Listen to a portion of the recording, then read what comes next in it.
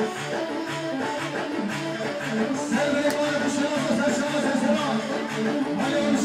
hani şey Kim başa ya?